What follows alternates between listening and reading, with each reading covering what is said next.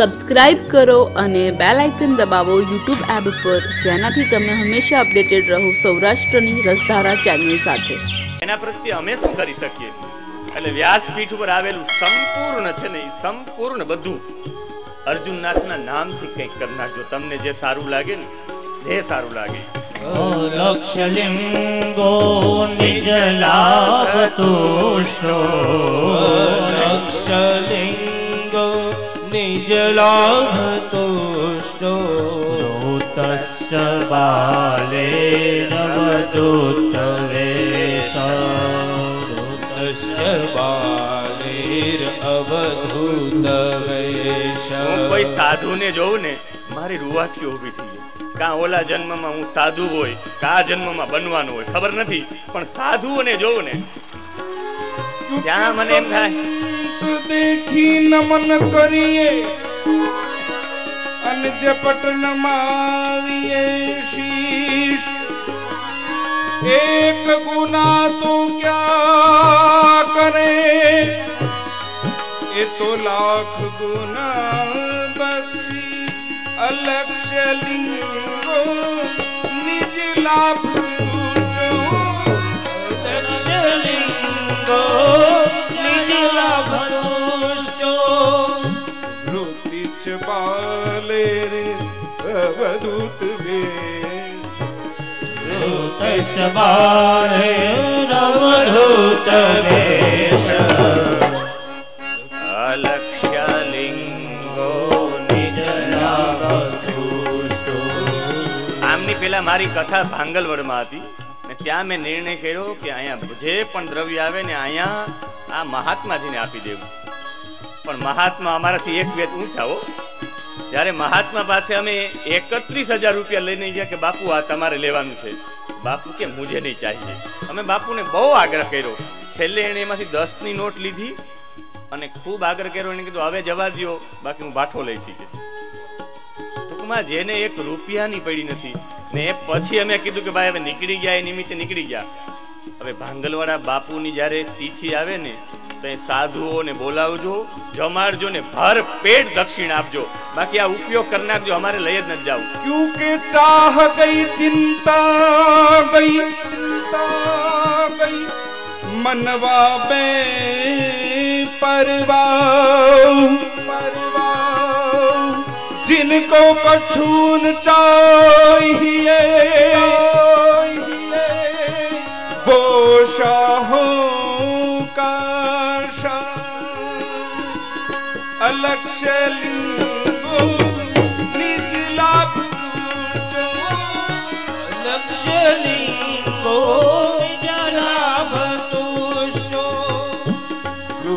એ સમયે ત્યાં કવર પણ કવર પણ ત્યાં ને ત્યાં દીધું કે આ ભાંગલવડમાં તમારે જે કરવું કરજો. મને કોઈ કહ્યું કે મહાદેવભાઈ આમ જ કરી રાખશો, તમારું હાલશે કેમ? મેં કીધું, રોટલો મને મારું ઉમરેઠી આપી દેશે. રોટલો જ ખાવાનું કામ છે ને? જો આ છિદ્ર અર્જુનનાથને રોટલો આપી શકતું હોય તો મારું ઉમરેઠી મને રોટલો આપશે. જીવન નિર્વાહ નીકળી જશે. બાકી કોઈ પૈસા ભેગા કરીને ખીચા ભરવા. અને આવો સંત પુરુષ વચ્ચે પધાર્યો ને એટલે જેટલા લોકો જાણતા હતા ને આવા અવધૂતને, બધા ઊભા થઈ ગયા. ઊભા થઈને બધા સુખદેવજીને નમસ્કાર કર્યા. એ સમય પરીક્ષિતે પ્રાર્થના કરી કે આપના જેવા મહાપુરુષનું સ્મરણ કરીએ ને, તો ગૃહસ્થ લોકોનું જીવન પાવન થઈ જાય. તમને જમાડીએ, તમને પગે લાગીએ, તમારી સેવા કરીએ તો અલગની વાત છે. પણ આવો અનપેક્ષી કોઈ સાધુ મળી જાય ને ખાલી માવા સાધુનું સ્મરણ કરો ને, તો એશામ સંસ્મરણાત પૌંસામ સદ્ય શુદ્ધ્યંતિ વેગૃહા એના ઘર શુદ્ધ થાય, ખાલી સ્મરણ કરવાથી. એને પગે લાગવાથી, એને જમાડવાથી સેવા કરવાની વાત તો અલગ છે. ખાલી આવા સંતોનું ખાલી સ્મરણ થઈ જાય ને, પરીક્ષિતે ઊભા થઈને કહ્યું કે, તમારા જેવાનું સ્મરણ કાફી છે. આજ તમારા જેવો મને અવધૂત ગુરુ મળ્યો. એક જ પ્રશ્ન છે ગુરુદેવ. અત પૃચ્છામિ સંસિદ્ધિમ યોગિનામ પરમં ગુરુ પુરુષસ્ય યત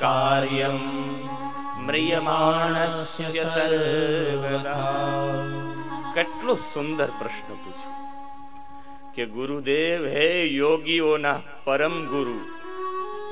યોગીઓના પરમ ગુરુ શબ્દ વાપર્યો છે.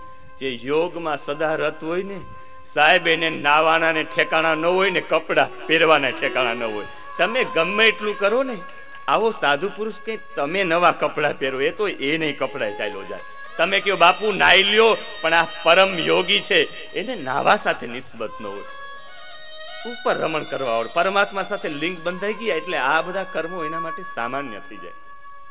કહ્યું કે, એક પ્રશ્ન પૂછો છે, હે યોગીના પરમ ગુરુ જેનું મૃત્યુ નજીક આવ્યું હોય ને, તેને શું કરવું જોઈએ જેનું મૃત્યુ નજીક આવ્યું એવું ન કીધું કે મારું મૃત્યુ નજીક આવ્યું, મારે શું કરવું?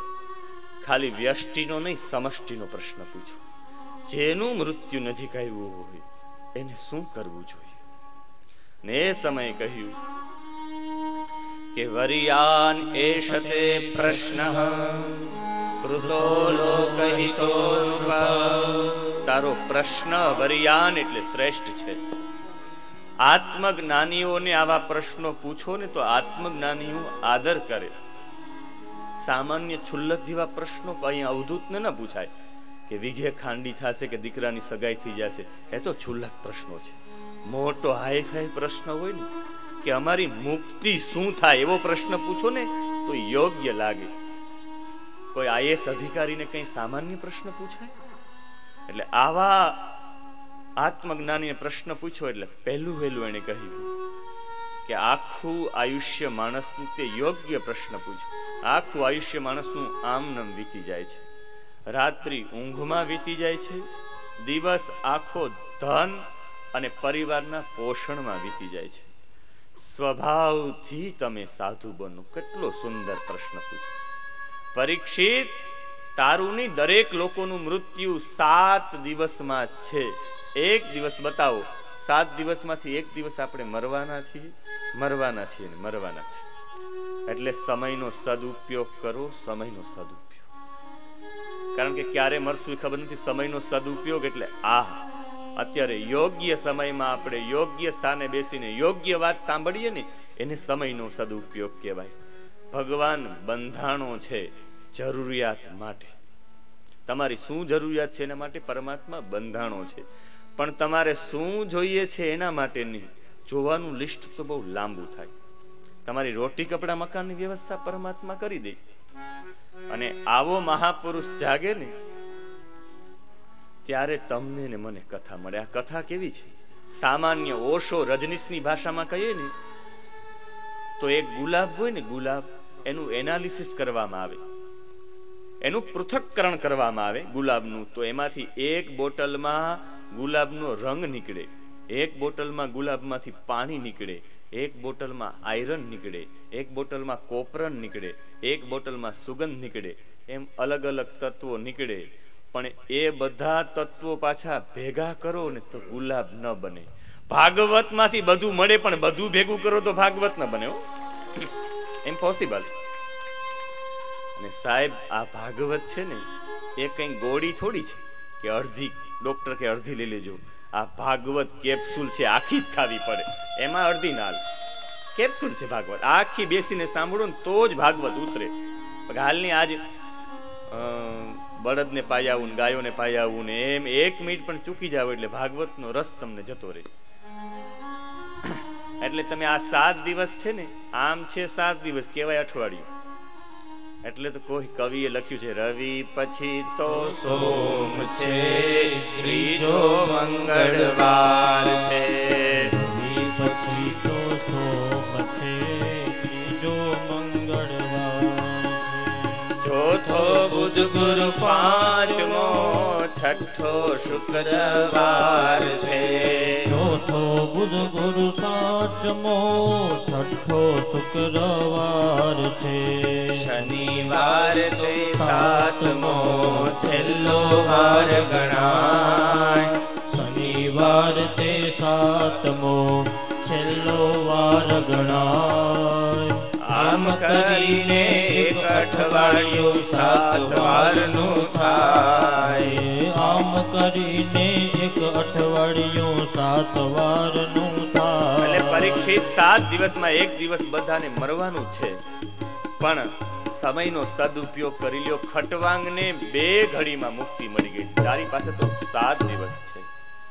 કહ્યું જમીન પર જો સુવા મળી જાય ને તો પલંગની કોઈ જરૂરિયાત નથી. તો જમીન ઉપર સુવાઈ જતું હોય ને, જો હાથને જ આમ પોતાનો તકિયો બનાવી લે તો તકિયાની જરૂરિયાત નથી. આ અંજલિને પાત્ર બનાવી લે તો કળસા કે લોટાની જરૂરિયાત નથી. વૃક્ષોને પોતાના વસ્ત્ર બનાવી લે તો કપડાની જરૂરિયાત નથી. એટલે હે પરીક્ષિત, તારે સગુણ ઉપાસનામાં હું હતો નહીં, પણ નિર્ગુણમાં હું બેઠેલો હતો. હું નિર્ગુણ પરમાત્માને જ માનતો, સગુણને માનતો નહીં, પણ કૃષ્ણના આ ચરિત્રએ મને એટલો બધો ખેંચી લીધો, હું આજે સગુણમાં માનવા માંડ્યો છું. મૂર્તિ પૂજા ખરેખર લાભદાયક છે, એ અહીંયા સમજાવ્યું છે. કારણ કે તમે મૂર્તિ વાળાને ન જોવ તો તમારા મુખ ઉપર હાસ્ય આવે જ નહીં. જેના ઘરે કૃષ્ણનો ફોટો હશે ને, એના ઘરમાં લોકો બધા હસતા રહેતા હશે. કૃષ્ણનો ફોટો જોવો હસતો, એકદમ હસતો. તમે એવો ફોટો જ ન જો તમારું જીવન પણ નીરસ બની જાય. રસવાળું જીવન બનાવવું હોય ને તો કૃષ્ણ કથા સાંભળવી પડે. જેણે આજ સુધી કૃષ્ણ કથા નથી સાંભળી ને, એના જીવનમાં રસ જ નથી, એમ સાંભળો ને. રસવાળું જીવન બનાવવા માટે આ રસિયાની કથા સાંભળવી, કૃષ્ણની કથા. ને પછી કહ્યું કે આયુષ કામાં અશ્વિનો. જો લાંબુ આયુષ્ય જોતું હોય ને તો અશ્વિનીની પૂજા કરવી. અશ્વિની કુમારો છે એમને. તો આપણે કેમ લાંબુ આયુષ્ય થાય? હા ચરક સંહિતામાં કહ્યું છે કે જે આવું જીવન જીવે ને, એ સો વર્ષ જીવે.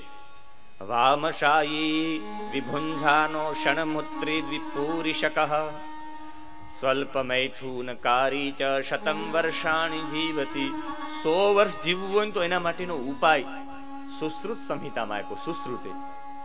કે વામસાઈ ડાબે પડખે હંમેશા સૂવું, રાત્રે ડાબે પડખે સૂવે સો વર્ષ જીવે. બપોરે ડાબા પડખે, રાત્રે જમણા પડખે. એટલે ચંદ્ર નાડી ચાલુ રહી. દ્વિભુંજાનો બે વખત જમે આખા દિવસમાં. એ સો વર્ષ જીવે. બપોરે ડાબા પડખે, રાત્રે જમણા પડખે સુવે. બપોરે બે વાર ભોજન કરે. ષડમૂત્રી છ વખત લઘુશંકા માટે જાય. અને દ્વિપુરુષક બે વખત લેટ્રિન જાય. આવો માણસ સો વર્ષ સુધી જીવે. શતમ વર્ષાણી જીવતી. આવી રીતે જીવે, એનું આયુષ્ય વધે. શ્રી કામો અપ્સર ઉર્વિષમ જેણે પણ સારી પત્ની પ્રાપ્ત કરવી ઉર્વશીની ઉપાસના કરે. અને વિદ્યા કામસ્તુ ગિરીશમ.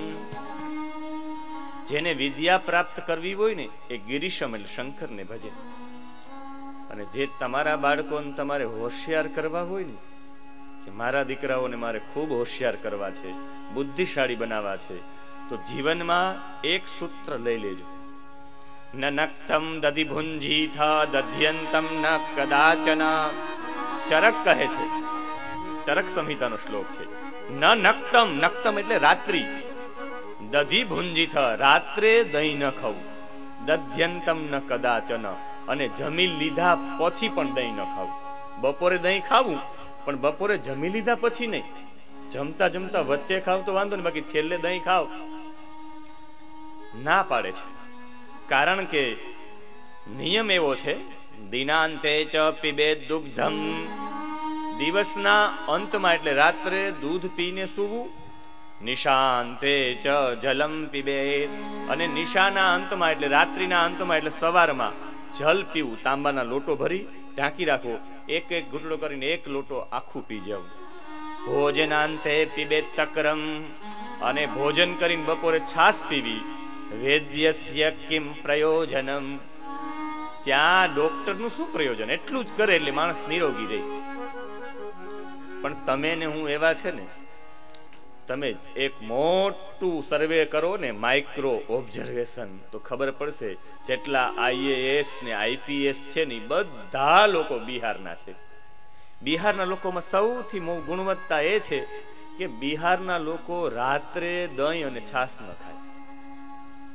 સવારના લઈને બપોર સુધી દહીં અને છાશ ખાવા, રાત્રે દહીં ને છાશ ન ખાવા.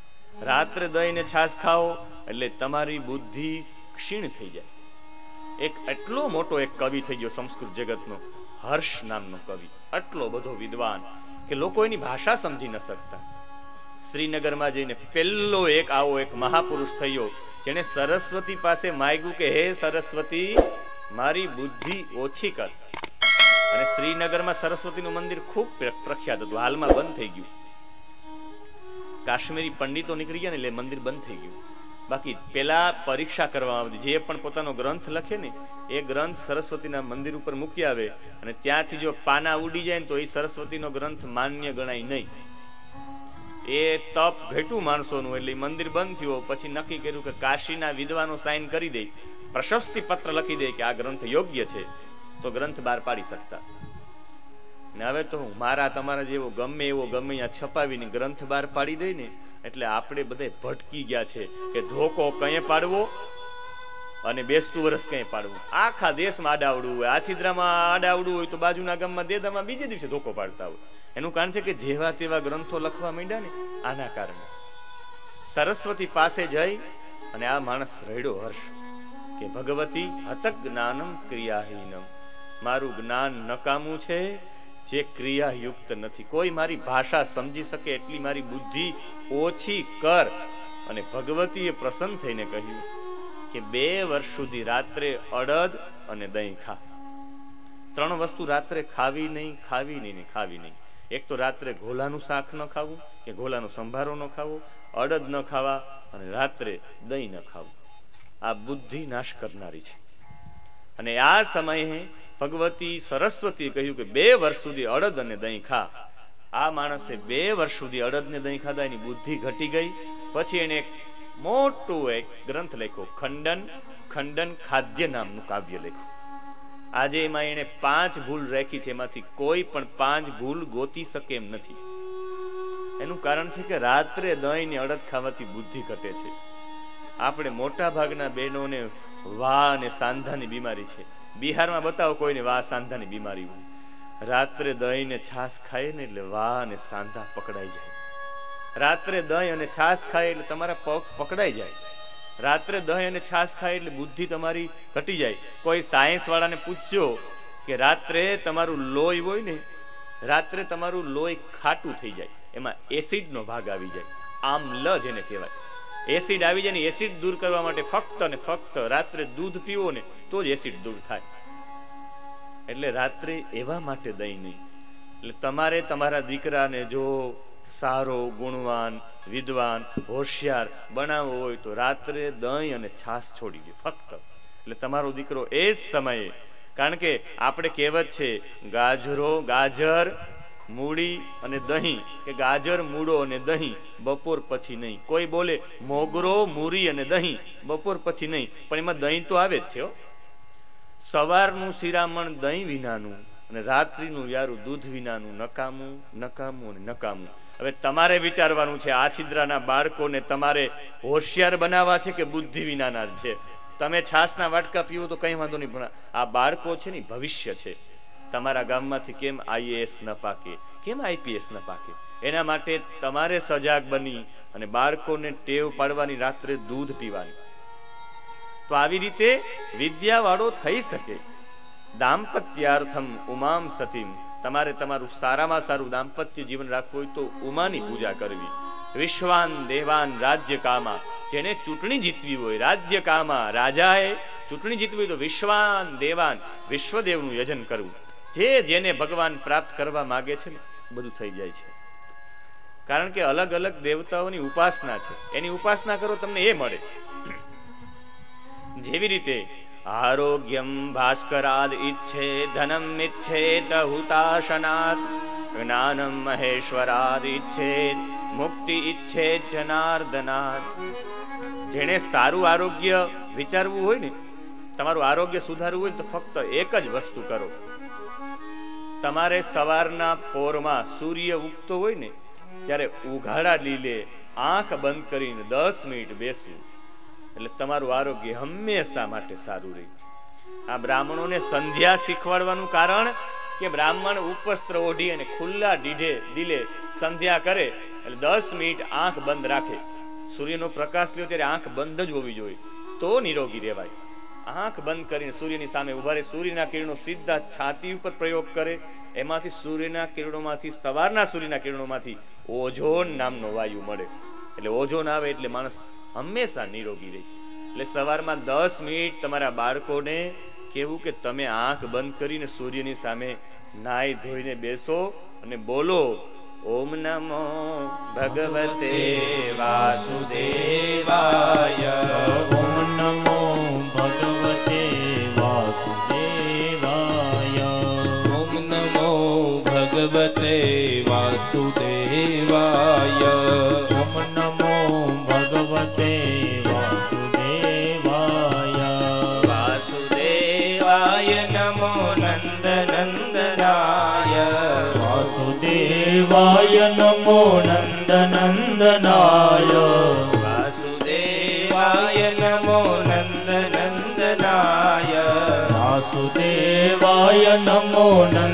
નંદનંદનાય નંદનંદનાય નમો વાસુદેવાય નંદનંદનાય નમો વાસુદેવાય દરેકના ઉપાયો છે શાસ્ત્રોમાં. આપણું આયુર્વેદ છે ને એમાં તો એટલા બધા ઉપાયો છે કે દીર્ઘજીવી રહેવું હોય ને તો એક વસ્તુ કરવાની આર્દ્ર પાદસ્તુ ભુંજાનો દીર્ઘ આયુમ અ- વાપનું યાદ. તમે ફક્ત તમારા પગ ભીના કરીને જમવા બેસો ને, એટલે તમારું દીર્ઘ આયુષ્ય થાય. એટલે જમવા પહેલા હાથ, પગ ધોઈને બેસવું પગ લીલા હોવા જોઈએ જમવા સમયે. આ લાંબા આયુષ્યનું એક કારણ આ પણ છે. આ બધું એવા માટે કહું, મારી કથા હું પહેલી વખત આ બધું કહું છું. એનું કારણ છે, યોગી અર્જુનનાથ ગામમાં કથા છે ને, એટલે એના ભક્તો એના ગામનાને જ્ઞાન મળવું જ જોઈએ. તમને એમના થાય કથા શા માટે? ખાલી કથામાંથી એક વસ્તુ સમજી લેશો ને, જમવા સમયે હાથ, પગ ધોવા, પગ લીલા હોય ને જમવું જોઈએ, તમારું લાંબુ આયુષ્ય થઈ ગયું. જે ગામમાં સંત પધારે ને ત્યાં બધાના આયુષ્ય લાંબા જ હોય. એમાં પૂછવાનું જ ન હોય. પણ તમે આવું સમજો, જેના પગ લીલા હોય ને, ભીના પગે જમવું લાંબા આયુષ્યનું કારણ છે. બીજું તમને સમજાવી દઉં. યોગીજીના ગામમાં છે એટલે, જેના બાળકો પથારીમાં પેશાબ કરતા હોય ને એના માટેનો ઉપાય તમને બતાવું. આ આયુર્વેદ પ્રમાણે. અડદની દાળ લેવાની, એ પાણીમાં પલાળી દેવાની. અડદની દાળ એક મુઠ્ઠી લેવાની, પાણીમાં પલાળી દેવાની. સવાર સુધી રહીને પછી સવારમાં એ પાણી કાઢી, એ અડદની દાળમાં, જે ભીની થયેલી અડદની દાળ છે, એમાં થોડી સાકર નાખી અને એક મુઠ્ઠી છે ને, એ ખવડાવી દેવાની અડદની દાળ સવારમાં. ખાંડવાળી અડદની દાળ. એક મુઠ્ઠી એક મહિના સુધી ખાય એટલે આયુર્વેદ એમ કહે છે કે તમારો બાળક પથારીમાં પેશાબ કરતો બંધ થઈ જાય. આ છે આયુર્વેદ. બધા ઉપાયો છે. એટલે તમે ખાલી આરોગ્ય માટે સૂર્યની સામે ઊભા રાખો ને અને બોલાવો. ઓમ નમો ભગવતે વાસુદેવાય. નમો ભગવતે વાસુદેવાય ઓમ નમો ભગવતે વાસુદેવાય અને આ પરમાત્મા જ્યારે જ્યારે પરમાત્મા તમે યાદ કરો ને કર્માબાઈને કાંઈ આવડતું નહોતું પણ કર્માબાઈ બહુ પ્રેમથી ભાવથી કહેતી કે હે ભગવાન એક દિવસ મારે ઘરે તો આવ. દરરોજ ભગવાન માટે ખીચડી બનાવે ને ખીચડી ધરાવે. ભગવાન જમવા આવો, ભગવાન જમવા આવો. બધા લોકો હસતા કર્માબાઈ કે તારે અહીંયા કઈ ભગવાન જમવા આવે? અમે તો કેટલા ભોગ લગાડીએ. જેટલા લોકો ઓરિસ્સામાં જગન્નાથ ગયા છે ને ખબર છે? ત્રણસો સાઠ માટલાની, ત્રણસો સાઠ રસોડાની ચૂલા છે. ત્રણસો સાઠ ચૂલા. અને એક ઉપર મટકું, બીજું મટકું, ત્રીજું મટકું એમ સાત સાત મટકા નીચે આગ લગાડે. ઉપરના મટકામાં પાકી જાય. અને એક સંપૂર્ણ સ્વદેશી જો કોઈ ભગવાન હોય ને તો જગન્નાથ છે. કોઈ ટર ને એવું કંઈ ટમાટર ને જેટલા વિદેશી છે ને એ કોઈ શાક ત્યાં લાગુ જ પડતા નથી. ને આજે પણ એના દાળ ભાત તમે જમો ને તો તમને થાય કે કેવા દાળ ભાત. આ બધું છોડીને કંઈ જગન્નાથ ગાંડો થઈ ગયો કે તારે અહીંયા ખીચડી ખાવા આવે? અને કર્માબાઈએ એક દિવસ પ્રણ લીધું કે આજે ભગવાન જો તું નહીં આવ્યો ને મારે ખીચડી ખાવા. તો આજે એવું મરી જાય અને આ ભગવાને પોતાના ભક્તની અભિલાષા પૂર્ણ કરવા માટે જગન્નાથ પોતે જમવા આવ્યા ને ખીચડી ખાધી ને, તે કર્માબાઈની આંખમાંથી આંસુ પડી ગયા કે, ઓહો, ભગવાન, તે મારો ખીચડો ખાધો પછી તો આખા ગામમાં કર્માબાઈ કહ્યું કે, હે જગન્નાથના ભૂદેવો, મારે અહીંયા તમારો ઠાકોર ખીચડી ખાવા આવ્યો. તમે શું કહેતા હતા? ખીચડી ન ખાય, ખીચડી ન ખાય. મારે અહીંયા આવ્યો આ જગન્નાથ. અને જ્યારે બ્રાહ્મણે કહ્યું કે, એમ તો તો કાલે બોલાવજો, કાલ તારી પરીક્ષા થઈ જાય, તારી અહીંયા ખીચડી ખાવા આવે કે નહીં? અને થયું એવું કે બધા ભૂદેવોએ કહ્યું કે જો સાચું હોય ને, તો તારો જગન્નાથ અહીંયા ખાવા આવે ને અમે જોઈએ. બધા બ્રાહ્મણો ઉપર ઊભા રહ્યા કે તારો જગન્નાથ કેમ આવે? અને ખીચડી ધરાવી અને પ્રાર્થના કરી, હે જગન્નાથ, તું જમવા પધાર.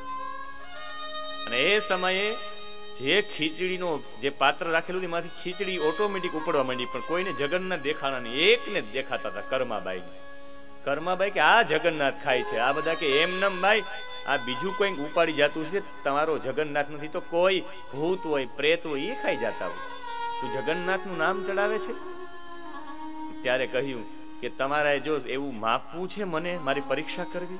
કહ્યું કે, ભગવાન, હવે એક ભક્તની પરીક્ષા છે. એટલે કહ્યું કે, જાઓ, તમારે બાર વાગ્યાનો સમય થયો ને, તમે અહીંયા ગરુડ ઘંટી વગાડજો અને ગરુડ ઘંટી વગાડજો અને તમે ભોગ લગાડજો. હું અહીં અમારા ઠાકોરને મારા હાથે ખીચડી ખવડાવીને પાણી નહીં પીવડાવી. તમારા જગન્નાથના હોઠ ઉપર મારી ખીચડી લાગેલી હશે. જાઓ. ને ગરુડ ઘંટી વગાડી ને મંદિરનો દ્વાર ખોલ્યો ને ત્યાં જગન્નાથના મુખમાં એક ખીચડીનો લોંદો ભગવાનના મુખમાં હતો ને બધા લોકોએ સ્વીકાર્યું કે વાસ્તવિકમાં ખીચડી ખાવા માટે આવ્યા હતા. પછી તો રો નિત્ય ભોગ લગાડતી કર્માબાઈ. જે દિવસે કર્માબાઈએ પોતાનો દેહ છોડ્યો ને એ દિવસે જગન્નાથ પોતે એક દિવસ ભૂખાર્યા. ભગવાન પોતે રોયા. એક દિવસ ભૂખ્યા રહ્યા એટલે તો આપણે આજે પણ કર્માબાઈ નો ખીચડો ગાવો પડે આપણા. કર્માબાઈ નો ખીચડો ખાધો રાજા રણ કર્માબાઈ નો ખીચડો ખાધો રાજા એ કર્માબાઈ નો ખીચડો ખાધો રાજા રણ છો કર્માબાઈ નો ખીચડો ખાધો રાજા રણ છોડ શબરીબાઈ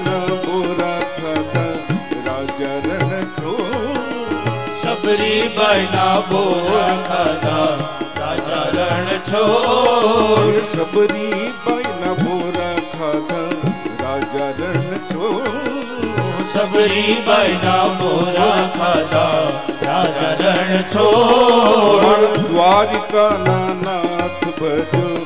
રાજા રણ છોડ. દ્વારિકા નાથ ભજો. રાજા રણ હવે તારો તારો તારો નીડો લાગ્યો મુજને રાજા રણ છો તારો નેડો લાગ્યો મુજને રાજા રણ છો મારા દ્વારિકા ના નાથ ભજો રાજા રણ છો મારા દ્વારિકા નાથ ભજો રાજા રણ છો મૂર્તિ બોલ્યો અહીંયા આખા મૂર્તિ ઉપરનો સિદ્ધાંત છે, મૂર્તિઓ બોલે એના ઉદાહરણો આપણે જોવા મળ્યા છે. એક ગોપી હતી ગીતા પ્રેસ ગોરખપુર. અને એમાં કલ્યાણનો અંક આવે છે. આ કલ્યાણના અંકમાં મેં કથા વાંચેલી છે.